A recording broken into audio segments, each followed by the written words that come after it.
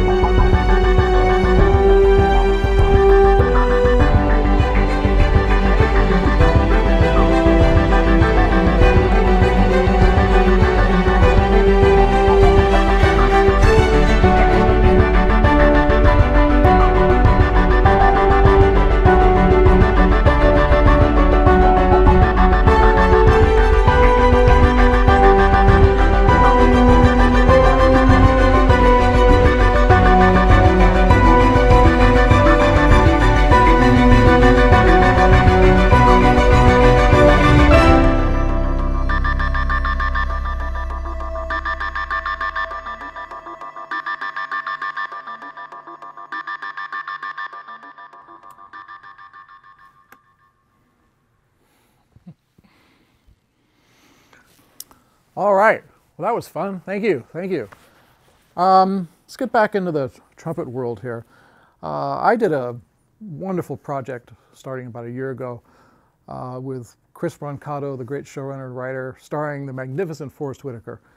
And um, one of the challenges and um, really fun aspects of this was collaborating with Swizz Beatz. He was writing all the contemporary songs, and I'm doing uh, the score.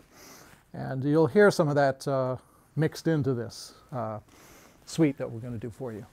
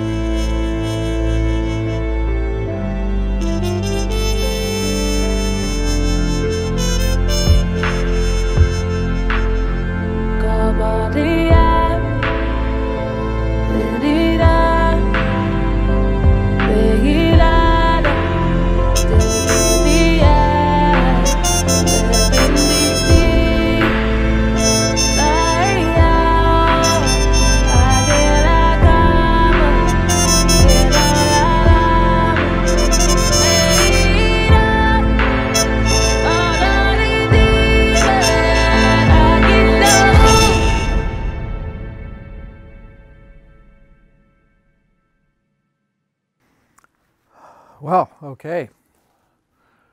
We're going to change geographic locations here and move to Paris. I was uh, very, very fortunate to have a long working relationship with Bob Altman and Alan Rudolph and did quite a number of films together. I like to play a theme from the moderns, which is probably Alan's tour de force.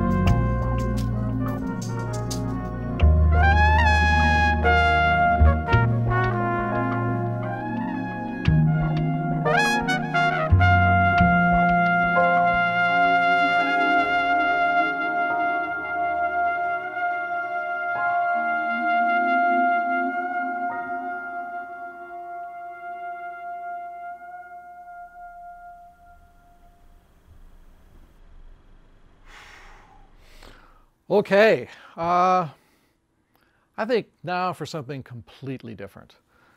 Um, my most recent film is, believe it or not, Bill and Ted. Bill and Ted Face the Music. And I can't really play you any of that score as it's unreleased. But what I can do is invite you into the process of some of the experimentation I did. Um, I went to the venerable Buchla 200E and uh, well, let's just see what happens with that setup Bill and Ted patch.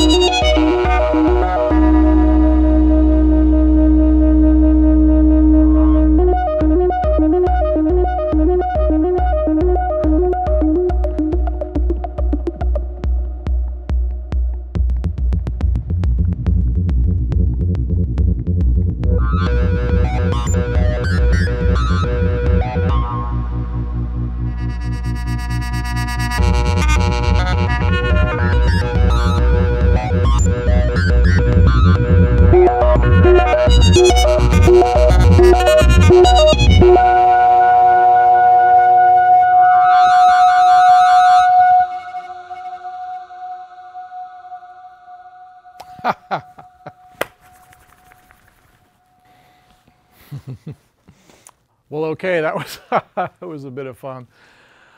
All right, well, for the last piece, uh, I wanted to do something uh, special. It's also something that I've never done before live. So, um, yeah, it's, it's from a very important film, a very a film that means a lot, especially in this, uh, in this time. So why don't you come with me?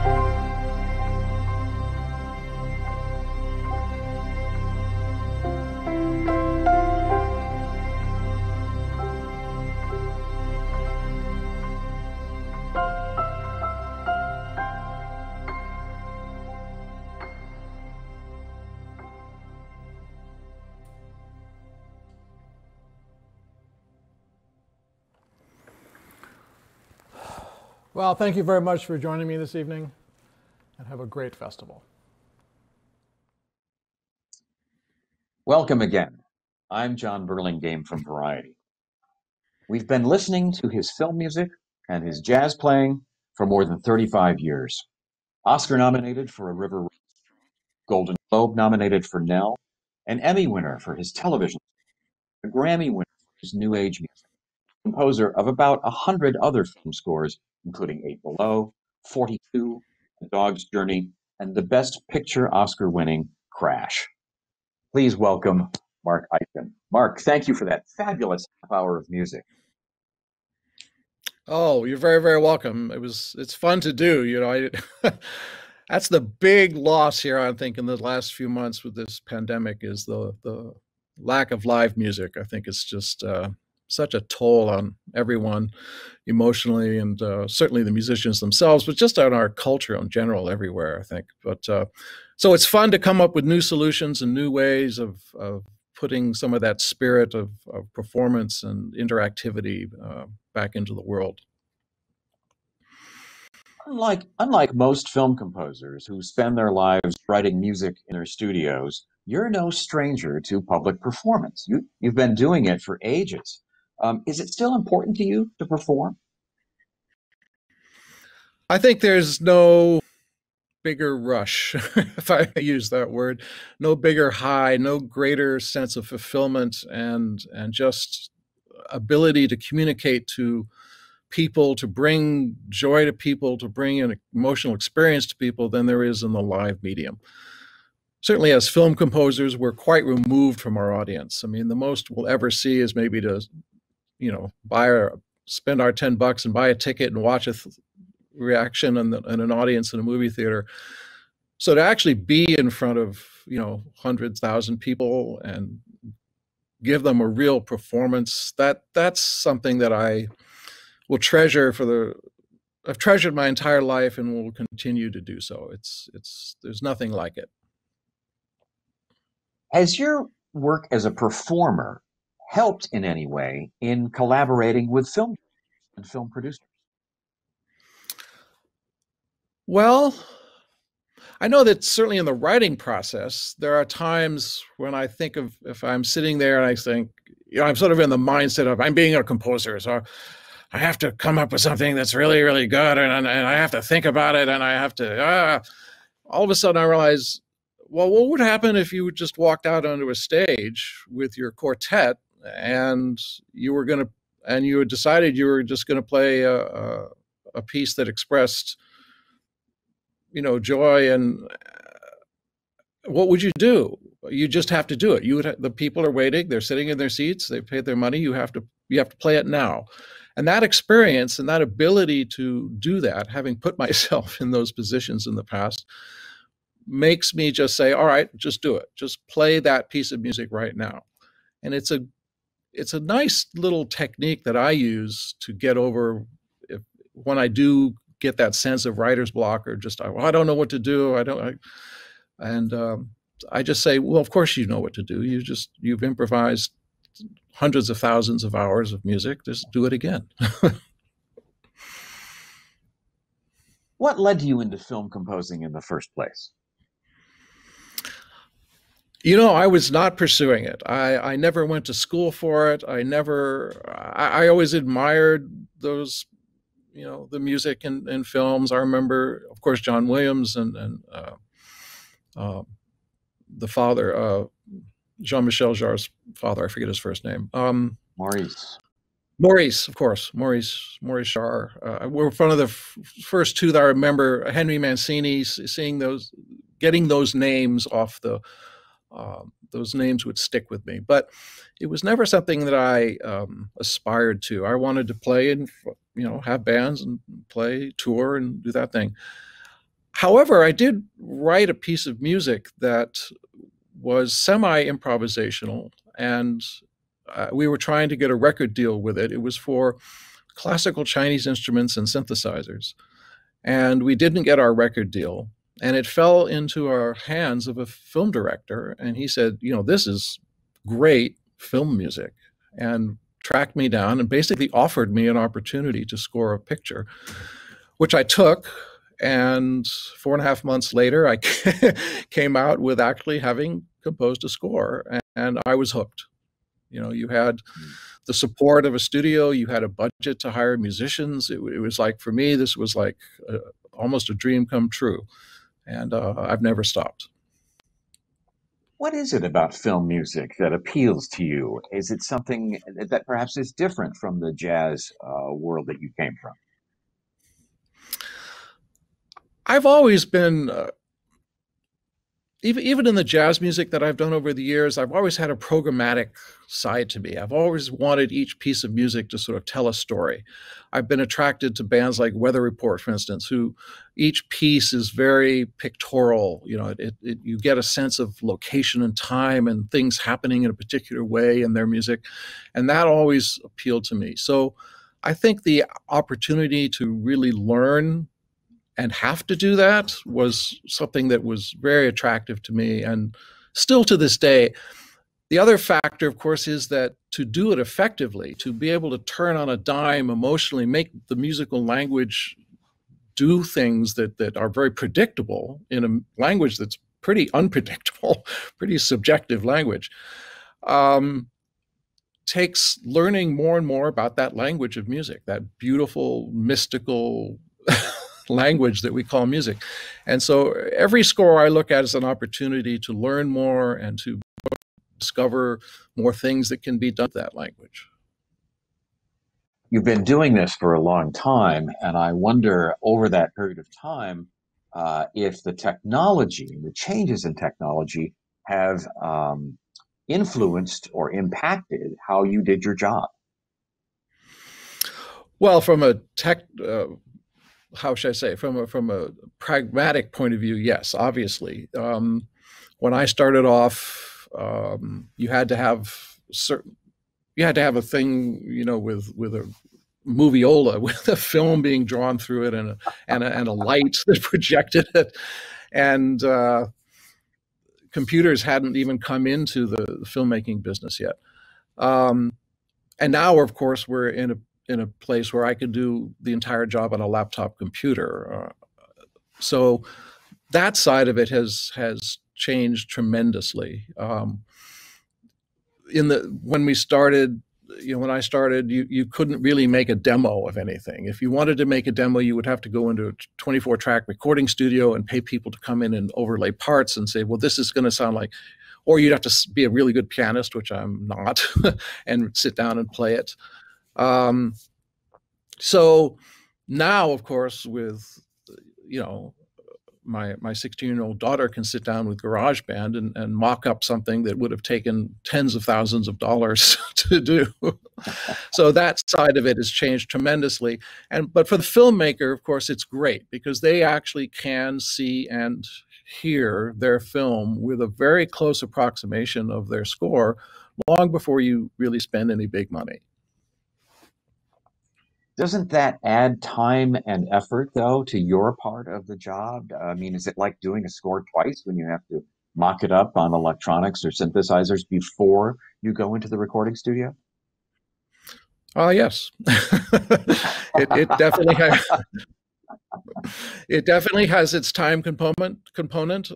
I think that's one of the skills that a modern composer has to have is to be very quick with that process and to be basically writing in the mode of demoing so that as you write it, it's being written on the instrument, the fake instrument that that it's going to be on so that if you like it, if the hair on my arm stands up when I play it back to me and I say, that's a great piece, that's going to solve every problem this film has ever had, I'm going to play it for them then you're already halfway there with the, the demo product. You know.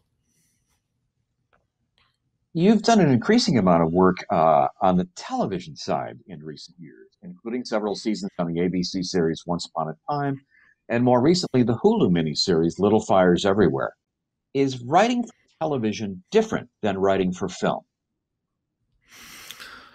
Um, yes, it, it, definitely is. Most mostly because of the um, time structure of it. Um, having said that, something like Little Fires Everywhere, where you have eight episodes, you have all eight episodes in front of you before you have to finalize anything, you can sort of approach that more in a cinematic way. In other words, something you write on episode seven can go back and influence episode one, and you can thread those ideas through all eight episodes, much like you do in a film. If I write something five weeks into the writing process in a film, I can then integrate that through the entire score if it's the if it's a worthy idea. If you're doing episodic 22 episodes a season television, by the time you're writing episode seven, one, two, three, and four have already aired. So there's no going back. So the challenge there is to get your material really codified and really strong and and agreed upon and knowing that it's really going to work and it's going to carry you through the whole run of those 22 episodes. How has this last three months been for you? Are, are, you in a down period now, or are you continuing to write and record? And for all I know, um, in fact, you just indicated, I think, that you've been working on Bill and Ted. Yes, I was similar to Alexandra. I was very, very fortunate in that two films that I've been uh, assigned to and, and working on both wrapped their uh, photography and principal editing before the pandemic. So uh, Bill and Ted did in fact get scored um, all remotely. I did the entire thing from this very room that you've seen me in. Um, used a wonderful orchestra in Budapest um, and used some various soloists from other spots around the world. Um, and then assembled it all together with a mix studio and about 20 miles from here, but we were hooked up um, to the internet, and uh, it all came together, you know, quite quite well. So personally, uh, I've I've been working away. I, there will be a bit of a downtime, I think, coming up, uh, but I've been very very fortunate in the sense that I've been able to keep working one of the uh, fascinating parts of your uh, the concert we've just heard and seen was your Bill and Ted experiments, um, mm. and I'm sort of curious to know: is that kind of how you start when you get a job? Do you go to your um, your instruments in the studio there and start sort of fooling around and playing and seeing what works? I do. I, I, like, as I mentioned, I mean, I, I look at every film as an opportunity to learn something more, to experiment with something more. Um, Bill and Ted, while it was not nearly as an experimental score as that was, there is this aspect of Bill and Ted which is very high tech electronica. And I just wanted to dive into that world in a way that I personally had never done it before. And the Buchla is a very complex instrument, one that one can devote a lifetime to to really understand. And this was an opportunity for me, somewhat selfishly, but also I think productively. I think the score has borne the fruits of some of those experiments. Uh, you know, just to learn a little bit more about what what can be done and what what what a composer can create. You were speaking about remote recording a few minutes ago, and and the uh, whole idea of sort of creating the Bill and Ted from various places around the world. Um, has that been complicated or difficult to uh, transition to? And do you think there'll be a lot more of that in the months to come? It wasn't that difficult. I mean, the technology is just improves every month that, that it's out there. I think we've all experienced the, the, wonders of Zoom and Blue Jeans and some of these programs that we might not even known much about, and now they're part of our daily lives. Um, it's it's not perfect, but it's definitely improves every time I use it. We find better ways of using it. We get uh, better better products every time, and um, I, I do think it will have a, a, lasting change on our profession. I do think that people will find um, working in a home environment for certain parts of their job are, are just easier, more efficient, maybe even more cost effective. And uh, these, of course, are all issues that, that everyone is concerned with. Um, and so far, I mean, I just refuse to take a, um, a lack of quality. So whatever we've had to push through and whatever we've had to to use whatever means necessary to keep the quality high, we we've done, and so far it's it's worked. What can we look forward to from you in the months to come? Uh, will you continue to work in TV and in film, and perhaps also in live concerts? Is that what's ahead for you? Absolutely, absolutely. I've I've done a, a concert like this for ABC about three weeks ago, and that sort of really inspired me. So that when I was offered this opportunity, I, I jumped at it because it's it's a way for me to to get that that rush back, you know, to just insist you've got to do this from the beginning to the end, and you just stand up there and for people and and and give a give a good show, you know. Uh, Bill and Ted is coming out. They they'll be one of the early first uh, movies in the theaters. I'm working on a, a wonderful film right now. Um, it's the story of Fred Hampton, who was the chairman of the Chicago chapter of the Black Panther Party. And his story is very timely for our uh, times right now because it really gives the history of some of the just uh, despicable aspects of American culture that have allowed the, our current uh, situation to to exist. So it's a very timely film, really beautifully made by a young director, Shaka King. So that'll be coming out as well.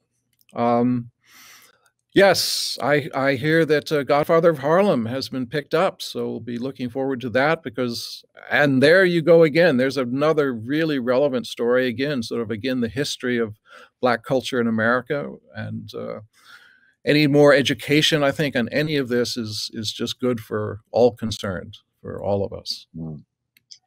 Well, this is great. Uh, thank you so much for being with us today, Mark. It's a joy to hear your music and to speak with you. So many thanks for being with us today. It's my great pleasure, John. Always great to talk to you. Thank you so much, all of you, for, for tuning in and watching our events today. Thank you.